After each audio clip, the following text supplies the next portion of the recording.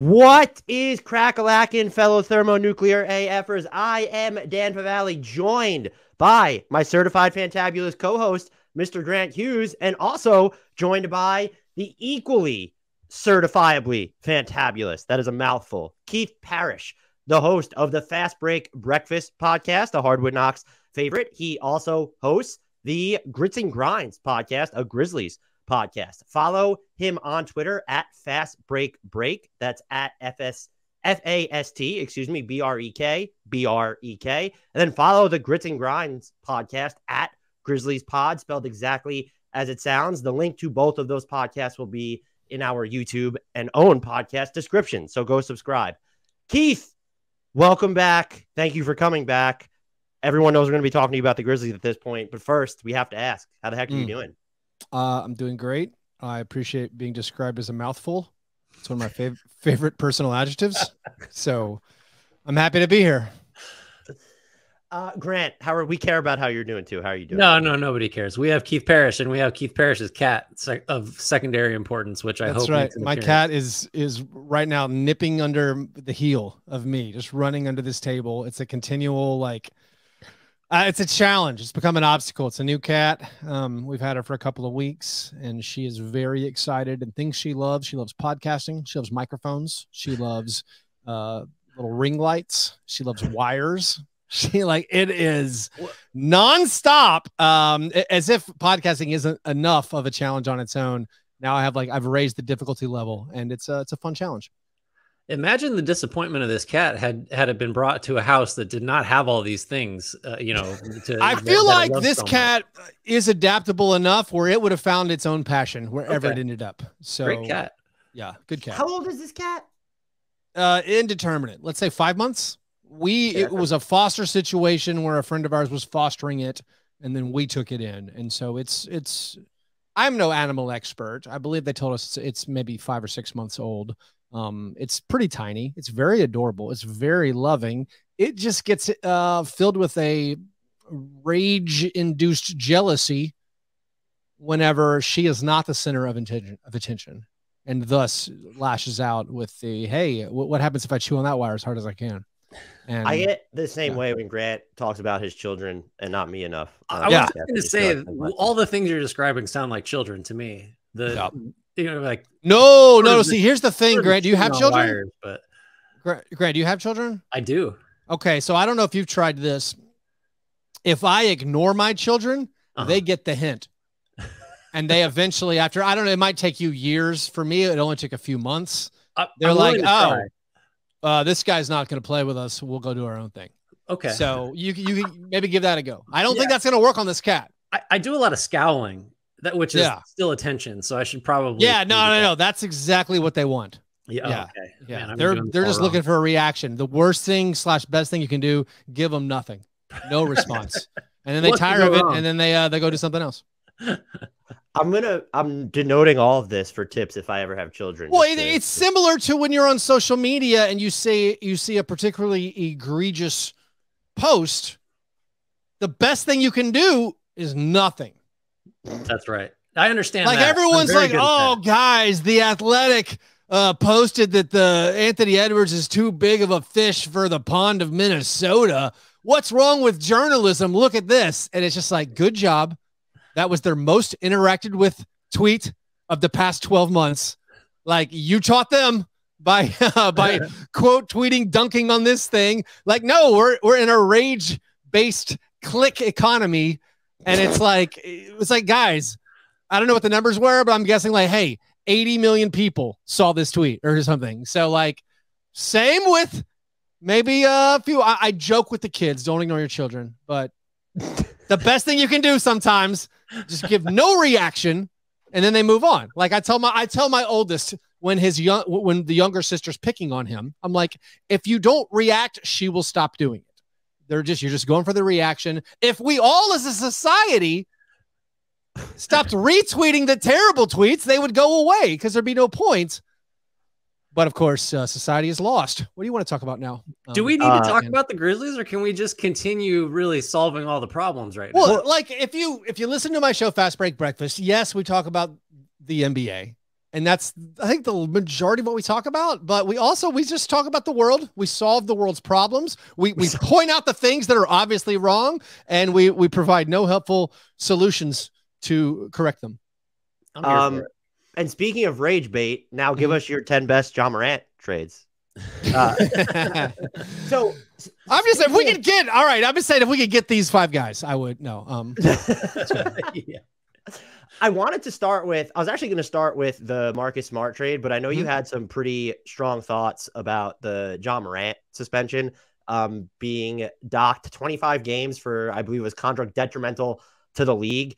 I know you've talked about it after it came out. You also kind of talked about it when there's been other things that have happened with other players and any like, I can't remember, was the Spurs, was it Devonte Graham got a, a DWI or something, was suspended two games. Yep. yep where do you just land on what the disciplinary action was here for for Ja Morant? I mean, I I, I don't know if I had a strong reaction to the Ja Morant suspension because it was my strongest reaction was like I thought Ja Morant's behavior was just like indefensible and like a it fell on it fell into the what in the world are you doing category. Like I you know, so I like the when we talk suspensions, it's always awkward, I guess, to kind of like just try to adjudicate like what behavior deserves what suspensions. And of course, when it comes to sports leagues, there uh, some of it is covered by the collective bargaining agreement. Some of it there's like this weird leeway where Adam Silver can determine conduct detrimental to the league. And so I think my, my initial reaction, the the nightclub gun video in Colorado last year, you're like, all right, this is a problem. And then there's just this like there's this groundswell of other events. And there were there was the interaction with Ja Morant and his friends and his associates with the Pacers team bus. There was mm-hmm. allegations of like a laser pointer. Like nothing was ever proved. There were these other things that were on TMZ, the Washington Post, about like these fights after basketball games, whatever. Like it was all this different stuff. And so that like had been growing for a while. And then when you had the Colorado video, like there were a lot of concerning elements to that. Like, yes, you have a gun in a nightclub, which you shouldn't have that. Like, how did the gun get there? Then it became the whole, was it on the team plane? And that's a whole new thing because of, you know, previous NBA history of like the Gilbert Arenas problem and the Javaris Crittenton. So like all that to say, just to retread where we were, like the eight game suspension back then, you're like, okay, fine. But also it was those, it's like, what, what else are you going to do? Because like there has to be normally these precedents for what a suspension can be. And as much as I think everyone agreed, like no one was defending Ja Morant's right. I mean, maybe some people were, but like I wasn't defending Ja Morant's right to have um just a random gun uh, at, a drinking establishment. Like that felt that felt to me, if I'm on my moral high horse, I'm like, that feels wrong.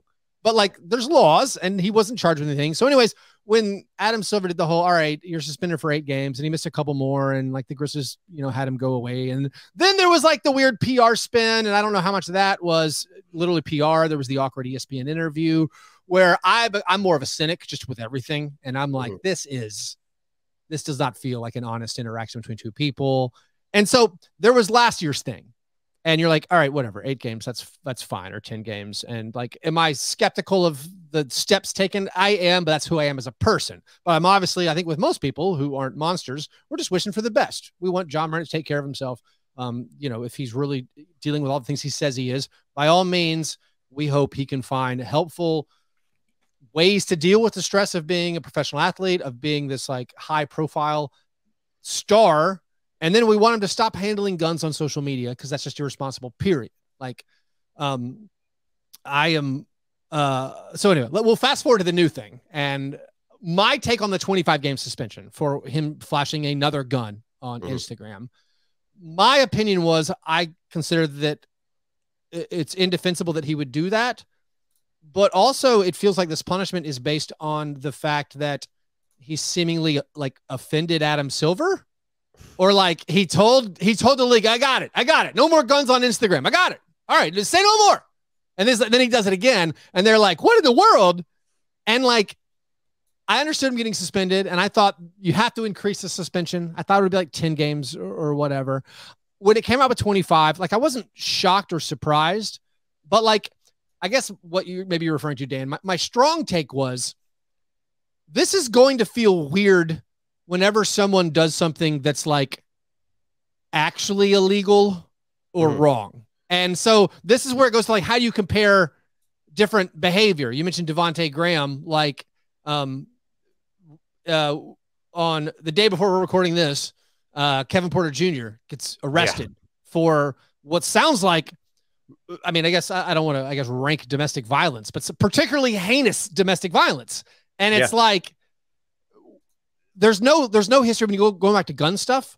There's no big history of the NBA suspending guys for these massive amounts of games, like the the, the Gilbert Arenas suspension, whatever it was. If it's like a half a season, mm. he had a gun in the locker room and pulled it on somebody. Like they pointed guns at each other. Like that that and it's like the difference between that and like holding a legal gun. Now we get into the semantics, and it's not fun to talk about. Of like because again, like we you me we, we just want to talk about basketball, yeah. and like my uh, my views on guns are probably radical compared to maybe normal people, and especially compared to like guns rights advocates. I'm just like, let's get rid of guns. Like what in the world? Yeah. Um, but uh, so like what Ja did, I thought a 25 game suspension is like that feels extreme to me. But of course, he he didn't appeal.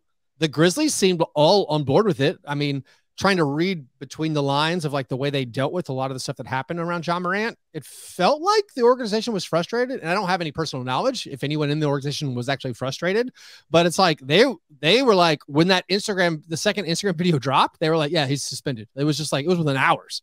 Like they didn't wait for the league to do anything. Um, and so like they and then when the 25 games was announced, they're like, yeah, works for us. Like they, they put out a, a team statement basically saying that works for us. So I think my strong opinion was like I feel like when we do the really uncomfortable thing of comparing various crimes and non-crimes, like all right, waving a gun irresponsibly or handling a gun irresponsibly, even though it's legal to have guns in cars in most states in the South, uh, like it's like like he didn't break a law, and then when you compare it to actual law breaking, it becomes like, well, what are we going to do now if we set this this precedent of like 25 games for this? And again, maybe this is right on what I'm talking about when it comes to like uh, legal matters that that is covered in the CBA. Doing things that the commissioner finds unsavory, there's there's more leeway, and especially than the gun issue, there's even more leeway, um, seemingly. Yeah, that I, I, just you're making me rehash all of the stuff that I thought. I think we're very much aligned. W- that it did feel like it's I and I had to tread very carefully, much like when you're trying to parse the significance of uh, domestic violence or or various rule breakings of legal and non-legal issues with the NBA. I talked about it in like a parenting context. And it seemed like Adam Silver is the parent here and he sort of the first time through said, "Is everyone clear on the expectations now? Do we all agree yeah. that you cannot yeah. do this thing? It doesn't even matter what the thing is. We get it. Yes, yes, absolutely got it. Won't do that." And then the the thing happens again and it's just like well now what we have to escalate and that i totally agree i think you're dead on that it felt yeah. like it was just a defiance of a clearly laid out expectation it almost doesn't i mean it, guns in the nba have something of a history and there are serious punishments for that sort of thing but i totally agree with you i think that's really what it was is that's how you get from 8 to 25 is we all understood what the expectations were and then you just you, you broke the exact rule we laid out and talked about and, and made clear also and i don't know if this is right or wrong like, but this suspension is heavier because Ja Morant is a marquee name. Yeah. Like if John Konchar had done this, like John Konchar does not get suspended 25 games by the NBA. And I don't think anyone clamors for John Konchar to get suspended. I'm not even trying to pick like I yeah. mean, maybe that's a weird because you, you you feel like the maybe um just societally we look at like oh white guy with gun that's a hunting tradition and there's like all these terrible stereotypes of that like I mean like just if it's like if Tyus Jones had been caught with like guns twice I don't think he's getting suspended a total now of 33 games for these two things because there was something about and again I don't know if that's right or wrong because the the league has literally made a financial investment in promoting Ja Morant they mm. put him on national TV a ton last year. He was on Christmas Day. He's one of the bright young stars that they are promoting. And it is detrimental to the league when he gets suspended. When he, I mean, I, I don't know exactly like how it affects the NBA, like their bottom line, their ability to make money. But I would assume Ja Morant making these negative headlines, they consider that to be bad to their bottom line. So that part of it also makes me feel weird as a very partisan, biased Grizzlies fan, where I'm like, like it's like it's like if you do the, the parenting analogy, it's like if you like tell your kid we had very clear uh, expectations and you broke them. And then the kid you're talking to is like, my sister is playing with a gun in the street. You're like, yeah, but what do you expect from her? Like you, uh, we actually have expectations for you. That kid, we can't, we can't control that kid. So it's weird. There's, there is a double standard and there can be double standards. Like we don't have to pretend that everyone gets treated equally in the NBA. James Harden doesn't have to come to every practice if he doesn't want to. Kawhi Leonard has to play every half of basketball. He doesn't want to like pretend, pretending everyone has to get treated the same in professional sports. We don't have to do that. But like it just adds more of the stuff when you're thinking about Ja Morant. We're like, this is strange. I think most of us like we just want it to be over. We want to fast forward to um, the in-season tournament just finished, and now Ja Morant's coming back, and hopefully he doesn't do anything dumb on on social media again because it's not fun to talk about. And I don't pretend I have all the answers, like what is correct here, what the league should be doing, what Ja Morant's people should be doing. I mean, first and foremost, you have to say it, I guess, in sports podcasting. First and foremost, we want Ja Morant like to take care of himself, take care of his family, take care of his career, take care of his financial situation. Like he's lost a ton of money. Like mm. this has cost him a massive, a incalculable. It is calculable. It's like forty million dollars in like just stuff he's lost from this, like the loss of the supermax contract extension. Right. Um, like there, there's all this stuff that like he's lost because of it. We just want Ja Morant to be safe and healthy, and everyone around the NBA and their families to be healthy. And then like once that's taken care of, okay, then we can complain about like, wait, was 25 really? Did we did it really need to be that much? And then again, like what's next? Like what happens when the next player like Stephen Jackson back in the day got arrested for firing a gun outside of a strip club. And like he was guilty. Like it went to court and he I think he got 8 games. And so, and so it's like comparing it to old things in the past doesn't work. This is a new precedent. And now it's going to be like what happens if something worse or weirder that doesn't specifically fall under like the already established legal guidelines, such maybe like domestic violence or getting arrested, that falls under. Um, it just all becomes uh, uncomfortable conversations. There is no natural segue to the basketball aspect. Let's just talk about the I fun one. stuff I had now. one. You want me to do it, Dan? I got one. Yeah. I've been thinking of it. So we will move forward, but there are those 25 games uh, that Ja Morant will not be participating in to start the season. And yeah. we also, you Keith, you mentioned Tyus Jones, also not there. Marcus Smart is the guy Gone. that is yeah. on board now and mm-hmm. will be very much tasked with filling that void. Um, it seems to me like he's kind of replacing two people. Uh, maybe you can speak to just the Marcus Smart trade in general, what you think he means for this team. Are they asking too much of him? Just give me, give me, give us your your take on the smart acquisition and sort of what uh, will be asked of him, you know, for these 25 games and and beyond. So I, I think a lot is being asked of him. I think you correctly state, and I've been pointing this out on my shows, where it's like, all right, he's he's the Tyus Jones replacement, he's the extra ball handler, and he's also the Dillon Brooks replacement. And when Ja Morant suspended, wait a minute, all right, he's now he's the Ja Morant, Tyus Jones, and Dillon Brooks. Like that's a that's a lot for a guy who only plays about uh, 75% of his games, you know, like he's also kind of like the oh, we always wanted this wing type player. Yeah. And he's filling that void that already existed in addition to the ones that were created by departures, the Ja Morant yeah. suspension and the trade itself. Yeah, so like I do worry like if he has to be primary initiator on offense and also guard the best not like guard. He's probably better at guarding wings than than like you know your De'Aaron Foxes now, anyways. But like, uh, it, it, does feel like we're asking a lot of him. Um, in a broad sense, though, I, I do like the acquisition of Marcus Smart. Once Ja Morant comes back, I think the acquisition of Marcus Smart um, over Dillon Brooks, it's going to be a, a, I think a big win.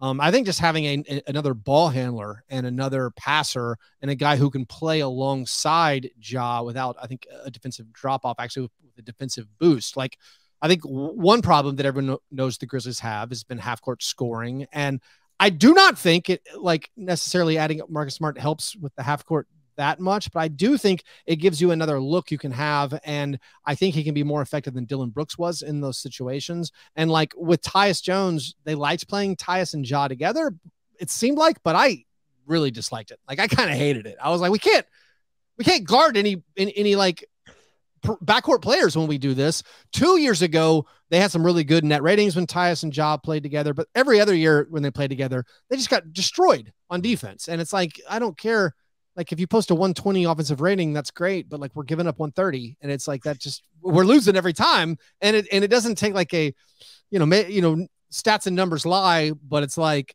well, that matches my eye test. We can't contest any three pointers because everyone on our perimeter is like six foot two or something, and so um, I think the acquisition of Marcus Smart should help the team a lot when fully healthy. You get a, um, someone who can replicate, I think, Dillon's defensive strengths, but I think one thing Dillon was really bad at is like actual maybe like you think of him as like a nitty gritty player, but he's actually really bad at like rebounds, chasing down loose balls. Like he's good at navigating screens. He's good at one on one defense, but like you know he's bad at offense, and then he's bad at actually rebounding too. And we saw a lot of what Steven Adams went out, this team went from the elite rebounding team to hey, they're actually bad at rebounding. And a lot of people saw it watching the FIBA World Cup. You're like, oh, Jaren is not a, a good rebounder. And um, I don't know why Steve Kerr and the Team USA was like, what if we surrounded a one bad big rebounder with a bunch of guards who are also not good at rebounding? What if we just blame that all on Jaren for not getting rebounds? but I digress. Um, Marcus Smart, like he's a pretty, he's pretty solid. He's a rebounder, but he's like the hustle guy, and he's like the deflections, the steals, the blocks. And I do think the Grizzlies defense is going to be great. I think it actually could be uh, better than it was even with Dillon Brooks with Marcus Smart in the fold. Um, before though, to like go back to the suspension part, it might be a little bit rocky because you are asking Marcus Smart to do uh quite a bit with the with the loss of Tyus Jones, Dylan Brooks, and also, oh by the way, Ja Morant. Was this like the guy that you would have in Smart that you would have wanted them to consolidate some of their assets into? Or do you think that this might have been more influenced by oh, the Ja Morant suspension. Like now we kind of need to check this other sort of box rather than just going to get not a Brooks replacement or just someone on the wing who can play with both Bane and Ja at the same time. Like with Smart, if you would have maybe not someone you identified, I don't think a lot of people thought he was available until the actual trade went through. Would he have been someone that you would have wanted on the Grizzlies' radar if they were looking to make that consolidation trade? Okay, so to answer, I'm gonna answer part of the question. Like was was the Ja Morant suspension like did that weigh in their their decision to target and pursue Marcus Smart? I would say absolutely not. Just okay. under the very simple, like you would not trade Tyus Jones if you were considering the Ja Morant suspension. Like you just flat out wouldn't do it. Like that doesn't make it that doesn't make any sense. And um, so I think no, I I don't think this the suspension weighed in at all. Like maybe they said we have to get at least somebody who can dribble a basketball, but I don't think that had any factor. I think they got Marcus Smart for how Marcus Smart fits when Ja Morant is back, and they're focusing on the playoffs. They've had a, a ton of regular season success the past two years, and I think they knew two years ago they're like, all right, I don't totally trust our 56 wins. We're maybe not totally built for the playoffs, and like they made some theoretical moves, like these are better archetypes of players for the playoffs. I thought they were horrible moves because you're like, yeah, uh, Jake LaRavia in theory is maybe like a postseason player, but like he's an unproven rookie. And so like they, they got a bunch of rookies last summer. Um, and um, I, so I think Marcus Smart continues the idea of like, this is a postseason guy we can depend on. This is a guy with experience, you know, late rounds of the playoffs. And he does provide some extra ball handling while also not sacrificing our, our perimeter defense. Now, the very first part of your question, you're like, was this the right guy for the consolidation trade? Um, as a fan or an analyst or a fanalist, if you will, the um, the trade for Marcus Smart, like I like it, and I think Marcus Smart is a great fit on the Grizzlies. But the only times I don't like it is when I think of it in the context of the idea of this being, oh, was this our big move? Mm-hmm. that like we've been waiting for for years. Mm-hmm. And when I think of it in the context of like, oh, we traded that Warriors first round pick, that top four protected Warriors first rounder in 2024 that we've been holding forever. It's like we made Andre Iguodala mad for this. We like did all stuff like like we, we we've had so much. We went through so much stuff like to get this pick, and it was always like years ago. It was man, we got the we got the Jazz 22 pick, we got the Lakers 23 pick, we got the we, like it was always like you're, you're always counting your future assets, and it's like one day we could trade all those picks and we could get whoever. And it was like we could get Jaylen Brown if we traded all these picks. So, so like, and then as the years went by, and this happens for everybody, like heads up Sam Presti, like this happens for everybody. That you eventually you start using those picks. and you're like, oh, we used two of our picks on Jake LaRavia. And, and then it's like, oh, fast forward. All right, now we finally made our trade and we sent two future picks and Tyus Jones for Marcus Smart. And you're like, ah, that's okay. But like, it's not like a super, it's like you get super excited about it. And then when you like, you further like draw the whatever, the view back, and you're like, oh, so a year after we traded De'Anthony Melton for David Roddy, we then traded Tyus Jones in two firsts for a better Melton in Marcus Smart. And it's like Melton plus Tyus Jones plus two firsts for Roddy and Smart. Like that's kind of a it feels like a lateral move, not mm-hmm. like a super. It's like we, we, like I think getting Marcus Smart made us better, but only because we made ourselves worse last off season. Mm-hmm. And so like again, when, when you this is maybe this is like podcaster brain problems where like when you cover the team like daily or multiple times a week for years and you remember back to all right trade deadline of 2022 it was like all right we're going to have cap space we're going to have three extra picks we're going to have we have uh, melton and we have brooks and we have tyus jones and those are all tradable contracts and we have these guys and these guys and if we package all that together we can get all that stuff and now you're like uh, tyus jones is gone Dillon brooks is gone kyle anderson he left um, anthony melton he's gone brandon Clarke's injured and all of the extra picks we had that became marcus smart and jake LaRavia. and it's like if you it, like because because uh, uh, like i'm generally optimistic but i do get criticized. We're like, hey, you're you're kind of down on the Grizzlies a lot, and, and I, I'm like, I'm not really. Like, I don't think I am. Like, if you're telling me you went back in time two years ago, in the middle of the 2022 season, and you're like, hey, guess what? Going into the 2023 2024 season, Ja Morant's going to be suspended 25 games. Brandon Clarke's going to have a torn Achilles. And all of our bench that we're so proud of, and Dillon Brooks and all of our draft picks turned into Marcus Smart and Jake LaRavia you would not be happy. You would be like, what? Yeah. Like that. We didn't get anything. We, we thought we were adding Pascal Siakam or OG Anunoby or whoever else. We thought we were going to trade all of our future picks for these things. And now we don't have any extra future picks going forward. The Grizzlies still have their own picks. Like they could still trade, but like you no longer have that. Oh, it's I'm super optimistic for our bright future. The bright future is the guys you have in house. You have you have Ja Morant, you have Desmond Bane, you have Jaren Jackson Jr. On honestly, like no other teams probably have as good of a young core, or you know, you can argue a few like maybe the Thunder or the Pelicans or whatever, but like we're still have all these great things and we're still have a bright future because of that. But my pushback is like, yeah, but I had those things two years ago. Like I already had those things. I thought I was getting those things and more. And now you're telling me, what about Marcus Smart? Like, okay, that's kind of that's, that's kind of fun. Like he's pretty good. Like he's pretty good, yeah. but it's no longer this like, oh my god, we're gonna be a dynasty.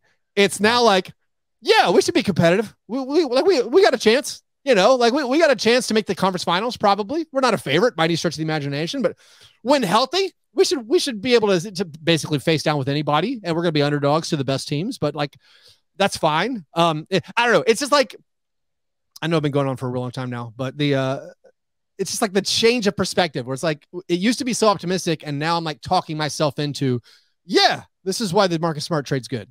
Yeah, I don't think that's unique to you. I can remember Dan and I specifically talking about, oh, the Grizzlies are so primed. Like, look at all this young talent they have. It's so projectable, and they have all this stuff. What are they going to turn that into? And and like you say, it's Marcus Smart. I do think though, I mean, all the other stuff that they had independent of the picks and and all this, you know, that's still really good. And Desmond Bane, I think, is kind of we haven't talked about him hardly at all uh, and he's relevant for several reasons, not the least of which is his fat new contract he got. Uh, what do you think about the numbers that he that he you know the years and dollars, and, and then with specific respect to these first 25 games, if you're looking for playmaking assistance, like is he someone that you could see? We know what he does really well already. Uh, is he someone that you could see expanding that aspect of his game to where it's not just Marcus Smart trying to be a conventional point guard for you know more than a quarter of the season. Can Desmond Bane run more pick and rolls? Is that something? Is that asking too much of him? I feel like we're already talking about we've asked too much of Marcus Smart. Uh, just what what are your Desmond Bane thoughts? How how much better can he get, and in what ways? And will that be of particular you know need, especially early this year? We will No. include like a warning for any Celtics fans that might be listening. Yeah, no, big shout out to the Celtics for uh, salary dumping the, the draft rights of Desmond Bane to the Grizzlies. Um, yeah, Desmond Bane's awesome. And anytime like you, you get down thinking about like maybe the way you might have mismanaged the roster, it's like, but we still have Desmond Bane, we still have Ja Morant, we still have Jaren Jackson Jr., and those guys are awesome. And Desmond Bane, if you talk about the, the contract he got, for me, it's a no brainer. I think it was techni- it was technically not a max, um, Yeah. but it's like the uh, it looks like the max. I mean, it's just look at look rank the best shooting guards in the NBA. Just for me, it's that simple. It's like, all right, Devin Booker. Then it's like, all right, now now who are we talking about? Like, uh, you'd rather have him than like like he's better than Bradley Beal, and it's like he's better than you know, like you just again look at it. It's like he's one of the, he's one of the best shooting guards in the NBA right now, and I think he can improve the the playmaking. You mentioned Grant, like yeah, he's going to be on the ball constantly uh, the first 25 games. I mean, I think he's going to average five or six assists through those first 25 games. He's going to, I mean, I, I like fantasy basketball people, like he's going to average like 28, five and five, I think the first, you know, two months of the season. Um, and I think the way he can improve is just continue the ball handling. Um, I think getting to the foul line more. He's an elite free throw shooter, but he doesn't, he hasn't totally mastered the five or six free throw attempts per game. Um, so I think like if he can improve that some. And honestly, like last year was a it was a, a near all-star level season. Um, it was a, a breakout season, and I think he was hurt for most of it. Like his uh his first 13 games, and that's including like I, I think the first two or three games, he couldn't hit anything. And then he had a 10 game stretch where he was like, uh, I don't know what to call him. Like it was just like all NBA level, Devin Booker, like knocking down all except Devin Booker with, with a better three point shot. You know, like he was he was outrageously good. Then he hurt his toe. He missed a bunch of time. He came back. His all his shooting splits went way down. He's still like you wouldn't know it if you were just like checking out his overall splits. You're like, oh yeah, that guy's amazing. He is, but I think he actually was hurt most of last year. So I think he can get better there. And just then just the natural progression of a guy like you know getting a few years of the league under his belt. Yeah, I think I think Desmond Bane. He's like a trendy pick like first time All Stars in the West, like Jamal Murray, he's going to get it. But like I think Desmond Bane, especially because of the Ja Morant suspension, like he's going to go nuts at the beginning of the year. And I think Desmond Bane is probably one reason why Grizzlies fans can be super optimistic. Like I don't know if Jaren can level up again. Like he leveled up last year. Ja Morant already an All NBA type player. If Desmond Bane then becomes like a top 30, top 20 player there, then you're like, well, they, they have this big three. Who cares if they're surrounded by um, Ziaire Williams and John Konchar and whoever else? You mentioned Jaren Jackson Jr. He feels unnecessarily polarizing to me, just because I understand the criticisms, the rebounding, the fouling can still be a problem. But then I'm wondering, do we read too much into the rebounding because he does spend he can spend a lot of time. Like, look at where he's defending away from the basket. If we could track that relative to other bigs, I think he's going to stand near the top of that. Whereas, like, it's the same thing that could be with Evan Mobley, even when he's kind of like the lone big lineups with with Cleveland. How concerning are Jaren Jackson Jr.'s continued weaknesses? And you mentioned that you're wondering whether he can continue to level up. Level up. What was something about last season? And I'm assuming it came on the offensive end because he was just so much more, or looked like he was so much more of a complete player there. Um, what is just something that really impressed you about his growth last Well, year? it's it's it's wild. I mean, he leveled up in every area. Like he leveled up defensively. Sure, he led the NBA in blocks per game two years ago, and of course he did it again last year.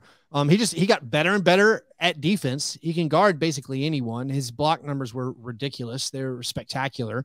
And yeah, his um his finishing got so much better this year. And even his three point shot, it went from he's been all over the place with his three point shot, and it had been two years ago it was bad, and last Mhm. year it got back up to like oh okay, you know, and like just being okay is really really good, but his two point finishing skyrocketed. And so like he started making all his two pointers again. He had a really good field goal percentage. Um, and you mentioned like it's weird how he's polarizing. He's the most unnecessarily polarizing.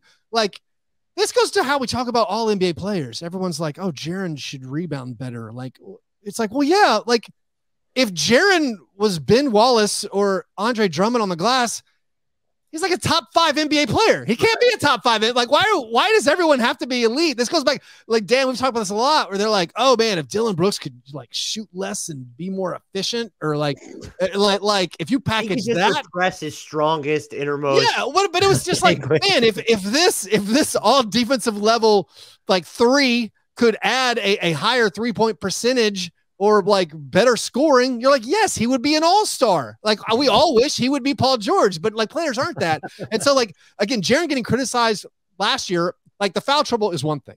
He does get in foul trouble. It's overblown because I think when we talk about sports, we have to have just like one single bullet point thing to talk about. And maybe some of that's just the way ESPN and other networks cover the, the league. Like Jaren, I think, fouled out of four games last year. He played low minutes because they the Grizzlies don't play anybody heavy minutes, just period. Like they don't play anybody heavy minutes. Um, his his fouls are, are still a problem, despite the fact like the, but there's nuance. Like, yeah, he, he's not always fouling out. But sure, we wish the fouling was less. The rebounding thing, it's just like compare his rebounds per possession to like who do you want? Like Chris Bosh? Like they're pretty close. It's like he's he's not elite at rebounding. And I would I I call him like average. I was like showing people, I'm like, hey, who do you think had more rebounds per possession? Pau Gasol on the Grizzlies or Jaren? And again, it's really, really close. They're like mm. within like tenths of a rebound per possession. Like, and so it's just like um, I think Jaren's weaknesses are overstated. I think the rebounding, he's not good at it.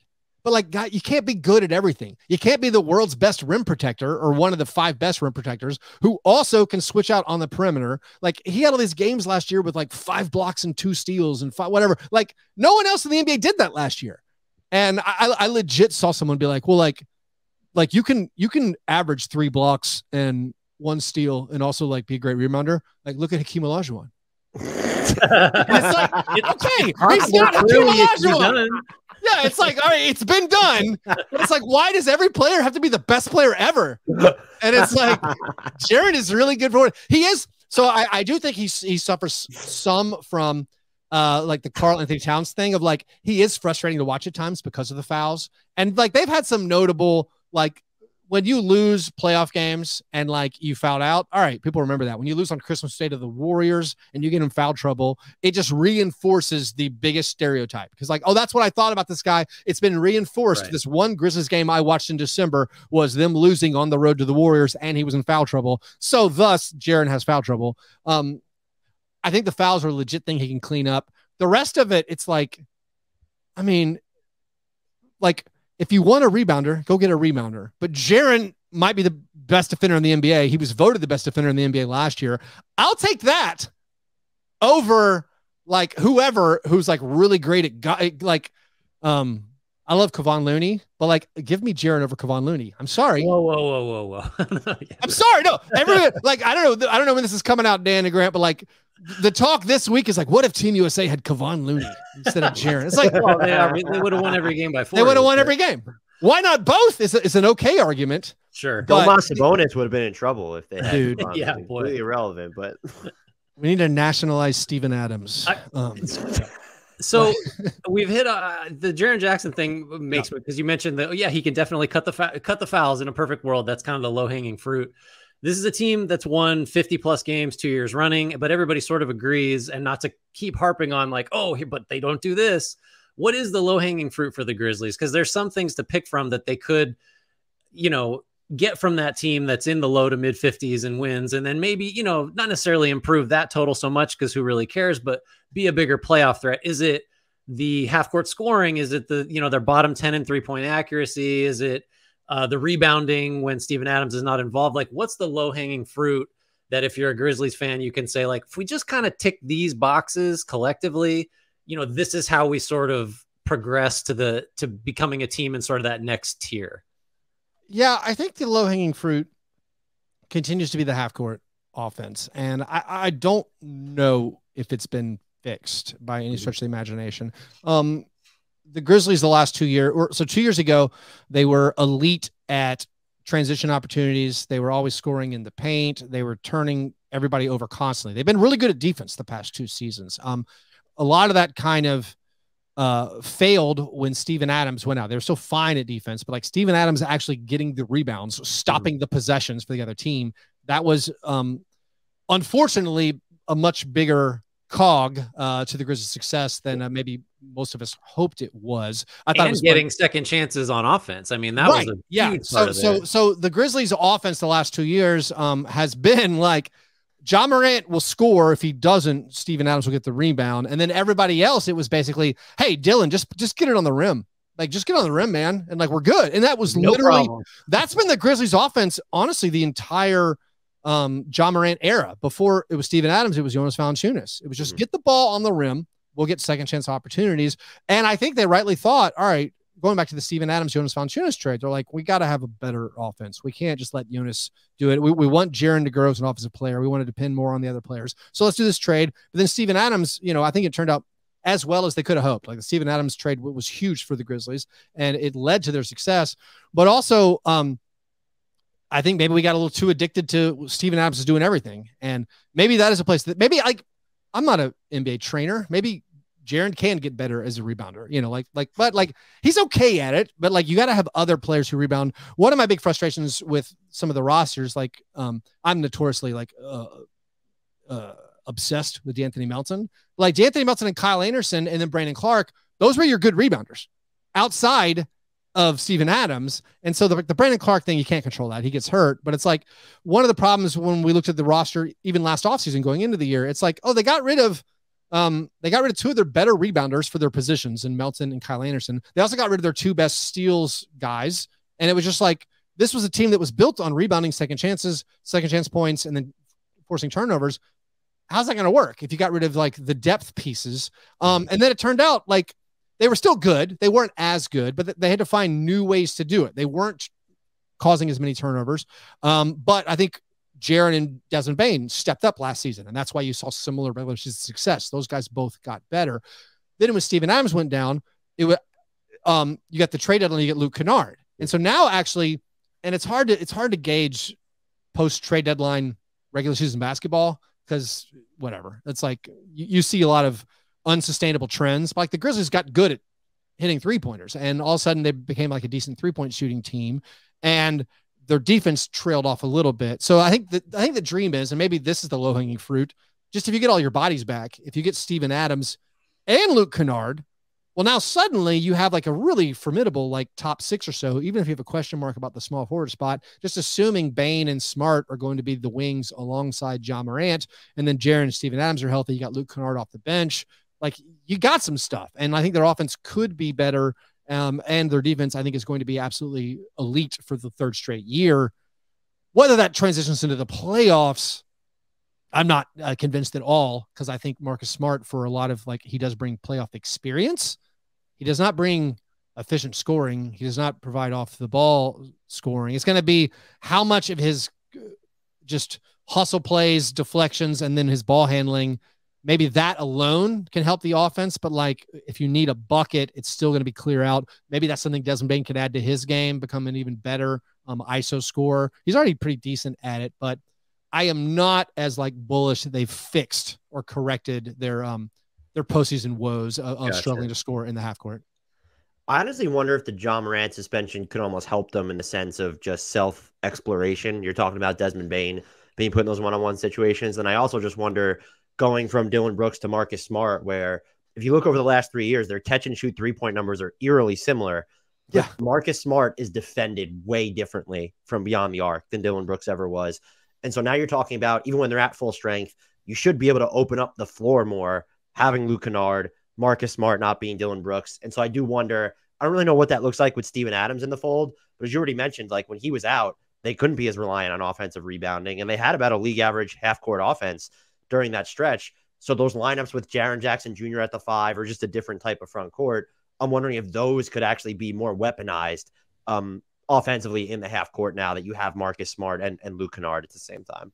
Yeah, and even like a guy we haven't mentioned his name once, um, Santi Aldama had a lot of success sharing the court with Jaren, and I think even if you think about the the lineup experimentations they're going to do without Ja Morant, you're going to have like you're going to definitely going to do some Jaren and Santi at the four and five, and then just like I think I think Luke Kennard, Desmond Bane, and Marcus Smart are going to be like it's gonna be rocket fuel. Like that's going to be like I think a really strong offensive lineups. Um, whether Xavier Tillman, who did a pretty solid job filling in for Steven Adams. Unfortunately, his limitations, he's not as good at any of the things that Steven Adams does. Mhm. Um, as far he's a very good one-on-one defender, but like he can't rebound at the same level by any stretch of the imagination. Um, like I, I think it's going to be interesting because again, like w- when you hit the level the Grizzlies are at, where you've made the postseason, you've had home court advantage two years in a row. Now you're into the third year, and it's like you never know if things are fixed until basically you get to April. And so, Right. and so it's like um, that, that's going to be hard. That's why I also uh, always tell basketball fans like enjoy every month. Every month is fun. Like we're here to watch basketball. We don't have to get too obsessed with uh with, like- with like the postseason breakdown. But I think there there are a lot of there are a lot of lineups that like they can tinker around with, and maybe guys can find their footing um, while Ja Morant is unavailable.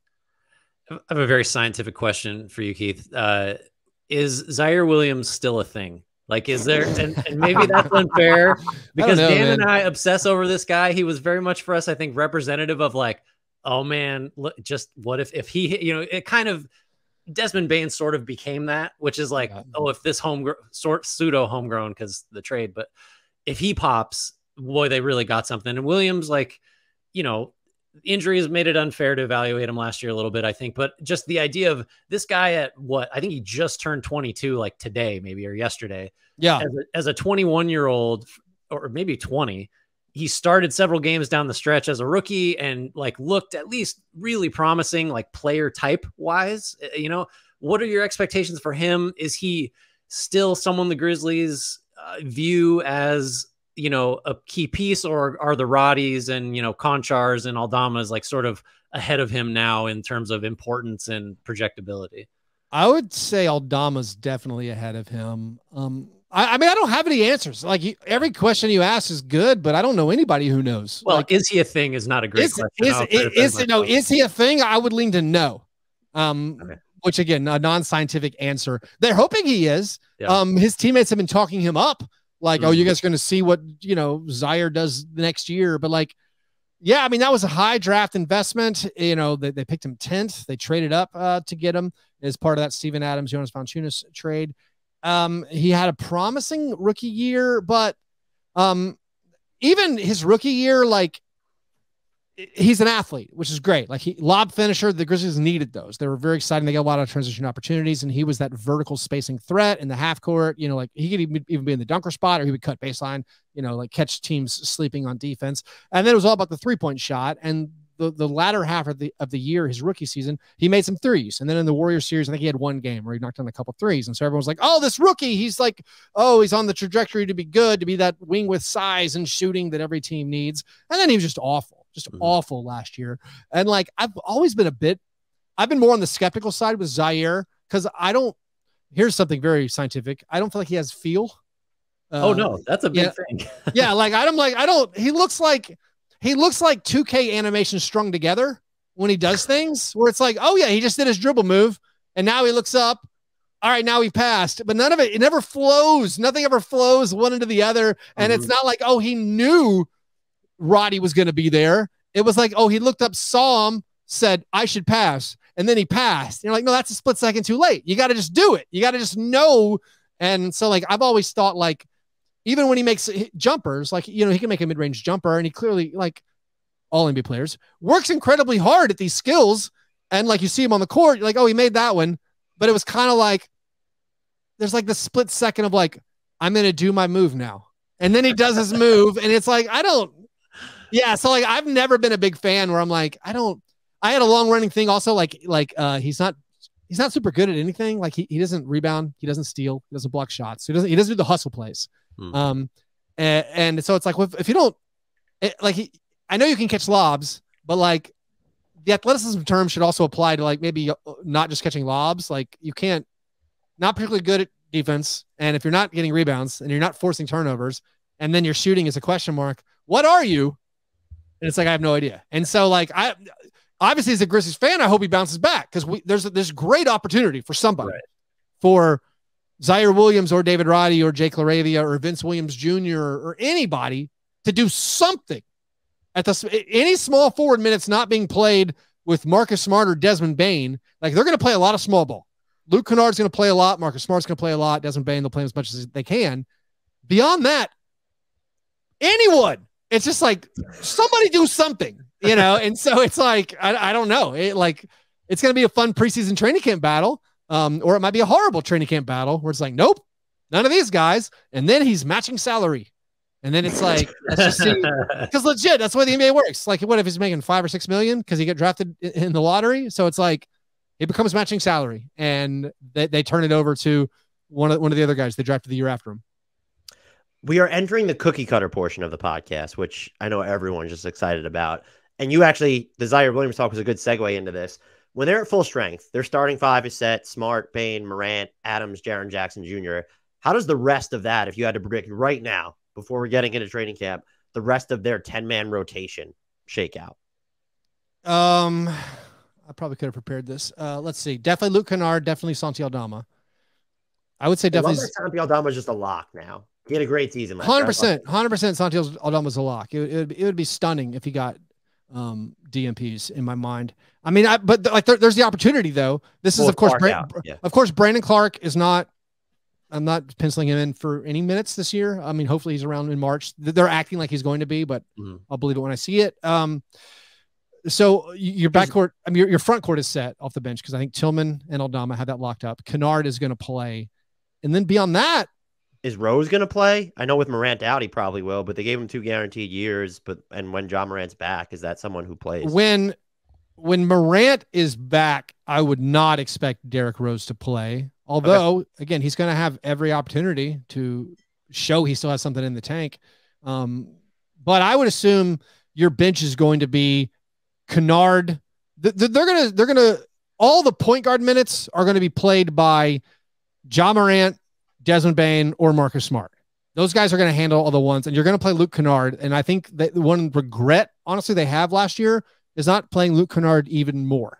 Like they, they didn't play him enough that they didn't they didn't turn it over to Ja Morant and Luke Kennard and Desmond Bain all playing together. They have one of the most hysterical like three man lineup net ratings ever last year. I can't remember. I should look this up. It was it was something like they played 150 regular season possessions plus 48 net rating. They played 130 postseason like lineup possessions together plus 49 net rating. And so it's like they absolutely smoked when they went with this small ball. Of course, those are outliers, and but I do think they wish they played it more. And so mm. I think those guard minutes are, are going to be full when fully healthy. And I don't think they're going to play Derrick Rose. I looked just now, yeah. cleaning the glass, 40.4 net rating with Bane, Kennard, and Ja on the court in the regular season. Yeah. And I want That's pretty good. The playoff, the, offensive the playoff one's better.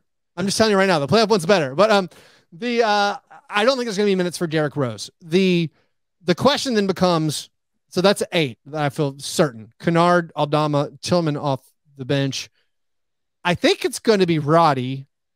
And then I think it's going to be Konchar. Konchar weirdly has an extension that kicks in next year. So like Konchar's locked in for a long time. Um, but I don't know. Th- then you start picking between maybe it is Derrick Rose, maybe it is Jake LaRavia, maybe it is Ziaire Williams, and I, uh, I I doubt anyone who says they have any answer to what it's actually going to be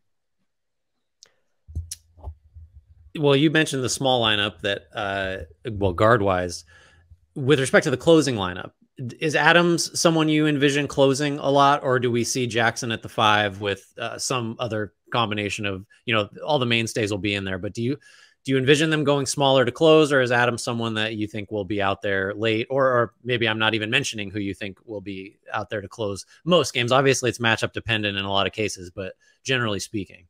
Yeah, so it's wild because with these multiple years of having this big center, Steven Adams, and then before that was Jonas Valanciunas, they were never the preferred when it got really intense. They were not the preferred closing option. They would go with Brandon Clarke most of the time. It would mm-hmm. be Jaren and Brandon. So, so now Brandon's out, and that like once again thrusts Steven Adams back up higher in, in, like importance. And I do think, yeah, he's absolutely going to be like the, the closing option. I think the closing lineups like I don't have any worry about the closing lineups, both with and without Ja, if everybody's healthy. I think Ja Morant, Desmond Bane, Marcus Smart, Jaren Jackson Jr., and Steven Adams is awesome. Like that's that's going to be a problem for literally everyone. Like maybe um, the Suns having, you know, we don't have anyone to guard Kevin Durant. Not many people do. And like, right. all right, the Nuggets, yeah, all right, the Nuggets are good. Um, but like, I think that's a, an elite five. Honestly, when Ja Morant's out, I think same defensive wing issues, but like Kennard, Bane, Marcus Smart with Jaren and Steven Adams, that's also a really good like five. I think it's gonna be really tough for a lot of people. So I don't have like a creative. I don't have like a creative like oh I'm really dying to see this lineup. Mm-hmm. Like no, uh, we have seven good players. I'd like those players to play. so there's no the question I ask every year. There's no uh-huh. weirdo, quirky, wonky lineup you want to see them try. I would say my only my only if it's weirdo, there's like j- non Morant lineups that like entice me. Like the like Luke Kennard really won me over. I was I was when when they traded for him last year, I was very lukewarm. Not to use the term Luke again. No, I'm gonna stick with it. I was very lukewarm about the Kennard trade. And um hitting 55% of your three pointers uh, will win a guy over. And that's what he did on the Grizzlies. And um, so like, and also, and honestly, this is this goes to another problem with like the the team rebounding. I say this as both a compliment and a criticism. Luke Kennard was like the third best Grizzlies rebounder. And I was like, like that's good for Luke. It's terrible for everybody else. But like, I'm like, oh, well, Luke at least like there's that thing again where it's like it's the feel. Like Luke understands if the shot's going up, I need to be moving, moving, moving. The ball's probably coming over here. We had several guys who weren't like that. They're just like, oh, the ball went over there. Who knew? Well, it's like some people knew. Like you know, they, they've seen enough basketball. They understand that. Um, so like, I think Luke Kennard's a pretty solid uh, rebounder, and I love the idea of Kennard, Bane and Marcus Smart playing. And then like the thing I mentioned before, that with Aldama and Jaren Jackson Jr. Maybe that's my most weird five man lineup that I really want to watch uh, for the Grizzlies this season. That was actually mine, except I wanted no bones about Desmond Bane being the point guard. So I'd rather you sub out Marcus Smart, throw in Ziaire Williams. And so like then you're just Desmond Bane plus a bunch of like bigger players but aren't too big. So I it's more of like a not a morbid curiosity, but it's just a curiosity. What would that look like? I would like to see That's, it. Yeah, I don't. I, We're trying so hard to make Ziaire Williams happen. You guys are. It's, it's, so it's like it's not. It's not fetch. It's not going to happen, guys. To um, credit, he did for like I tweeted about Ziaire Williams a couple times during his rookie season about how impressed I was, and each time Keith would quote tweet it and like pump the brakes on it, be like, "Well, this is like skewed because he shot a million percent against the Knicks or well, something." And, that, no, I, I, don't. I don't mean to be the douse water on guy, but sometimes no, right. that, that was yeah. that was probably during that stretch where I'm like, he hasn't grabbed a defensive rebound in 400 minutes or or, or, or, whatever it was, or like Ziaire hasn't drawn a charge in three years. Uh, you know, like um, there was a bunch of little hustle stats. No, it was deflections. This is what it was. I'm not remembering. Again, I, maybe I could have prepped. It's not like I think about the Grizzlies every day. Um, Ziaire Williams has the spectacular lack of deflection marks and lack of loose balls recovered. And there was this thing, I was tracking it last year where I'm like, Ziaire Williams has still not recovered a loose ball. And like the top 10, and I am going back to the skeptic thing. I'm very skeptical of the NBA hustle stats page. Like, I'm not saying they're faking it. Like, they're, they're definitely tracking things.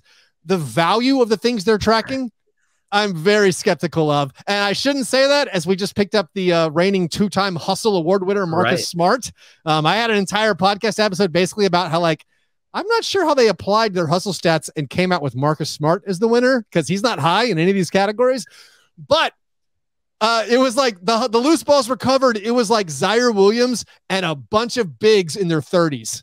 And it was like the only people I'm like, how is this 21 year old not just accidentally picked up a loose ball? And people are like, people would be like adding me on Twitter, be like, hey, I think he got one. I'm like, that might, I'm like, that might have been a rebound. That might have been a rebound. We'll have to wait and see how it scored. And like, oh, they scored it as a rebound. Sorry, Ziaire. Um, well, no. this all adds scientific heft to your he doesn't have feel. That that's like a qualitative you, thing. If you don't get deflections, you don't get loose yeah. balls, you don't get rebounds, you you can't really assist. Like it is like I don't.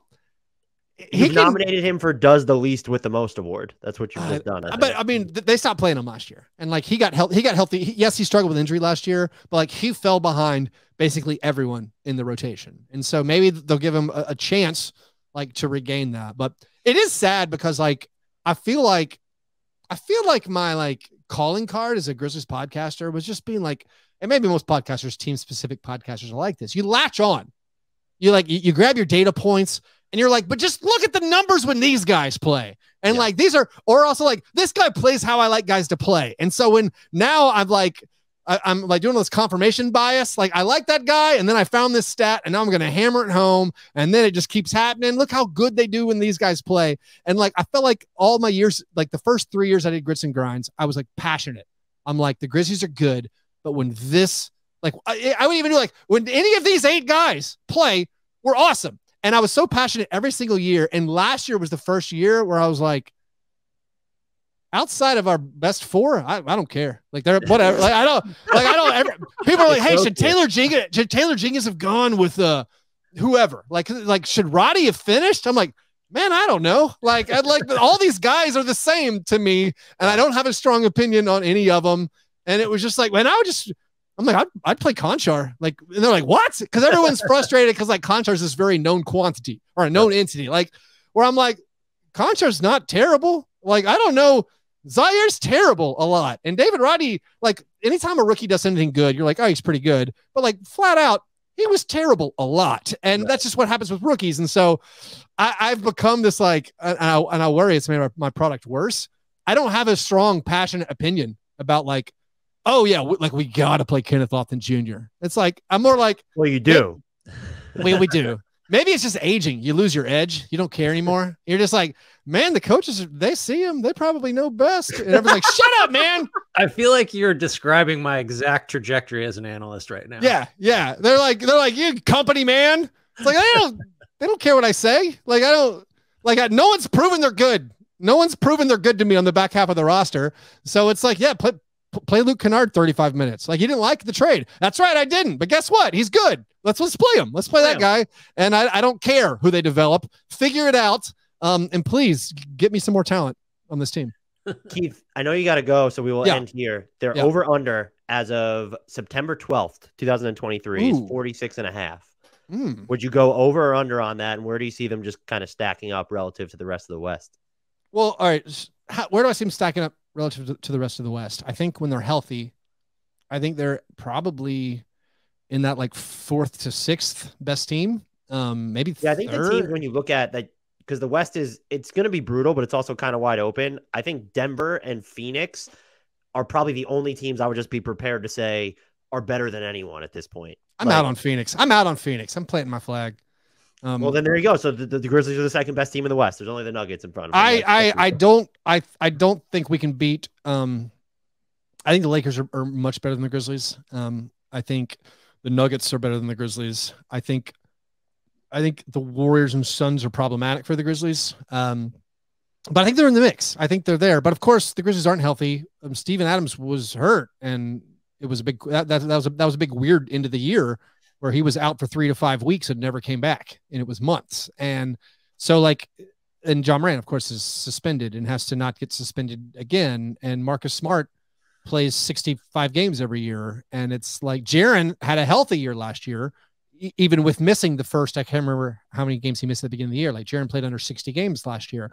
And so all of that mixed together makes me a little apprehensive of like, uh, I don't know. And of course, the depth. I feel like this year, this year's challenge has been they're really leaning into trusting their own infrastructure.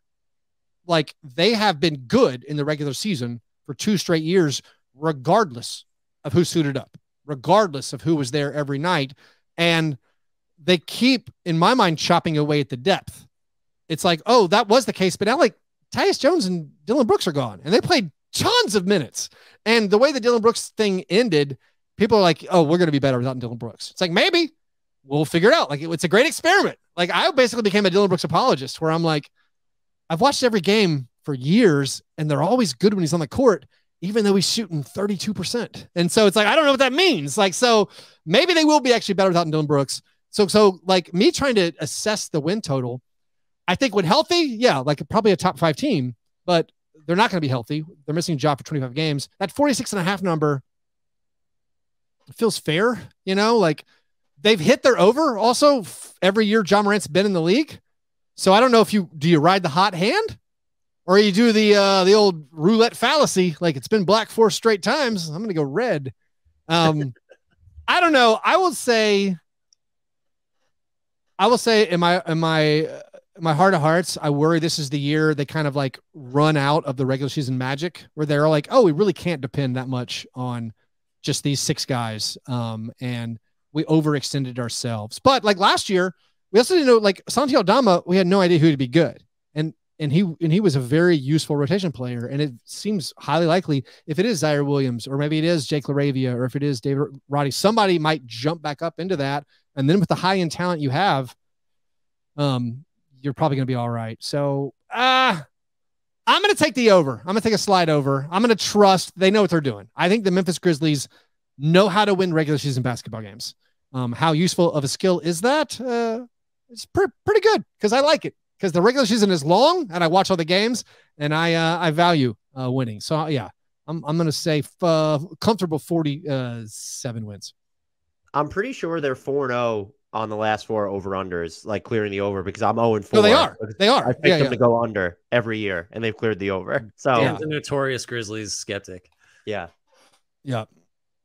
Keith, this was great as always. Thank you for giving us so much of your time. Are you able just to tell our listeners where they can find you and all the fantastic work that you do? Yeah, if you're a Grizzlies fan, you should be listening to Grits and Grinds. I get pretty uh I give some of this analysis there um, uh, multiple times a week. And then if you're a general NBA fan, please check out Fast Break Breakfast, cover the whole league. So yeah, check out Fast Break Breakfast. And Grizzlies fans do uh, Grits and Grinds. Link to all those stuff is in our podcast and YouTube descriptions. Grant, do you want to take us out of here really quickly? Yeah, everybody follow Keith, uh, consume all of his various contents. I'm, well, I just want to say, very disappointed. We were promised a cat uh, incursion, and we did not get. Yeah, one. the cat, I don't, it left. It was nipping my heels earlier, then it took off. Maybe the ignore um, It tactic didn't, worked. it didn't like the Ziaire Williams pessimism. No. That, that must have been it. Uh, you follow us. You can get a uh, at Hardwood Knocks. Uh, you can uh, make sure you like, rate, review, subscribe, tell your friends, tell your enemies, do all those things. Buy our merch. We got links to the uh, links in the descriptions of our YouTube page and on all our socials. Uh, he's Dan. I'm Grant. This was Keith. Thanks for listening, and we'll uh, check you out next time.